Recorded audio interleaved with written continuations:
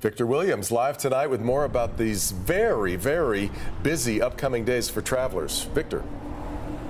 Yeah, that's right, Devin and Kimberly. I mean, we're talking about AAA expecting about 3 million Michiganders to be out there on the roads. But the good thing is, you're not going to see that much orange out there while you're driving.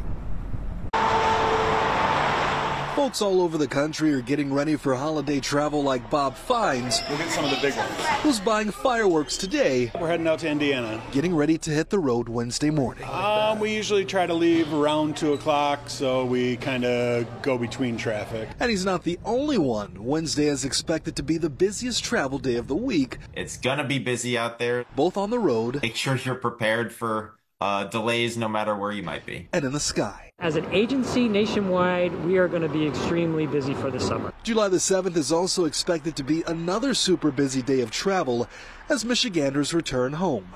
As a result, Governor Whitmer is working to make road travel easier by having most orange barrels removed on nearly 60% of roadways. Uh, my in-laws are in uh, New York, so the question is how much, how badly do I want to see them? Maybe it'll help Mike Shookman, who's on the fence about making the 10-hour trip to New York City with his two girls. Again, that leads into my in-laws. Like, how can I bother my in-laws? So oh. if I can get them a citation in the city, in New York, it'd be awesome. There we go. Yeah, so that's that's the whole the point. And the girls would love to have some fireworks shows. Obviously, New York does a great job with Fourth of July, but we'll take this stuff with us if we can.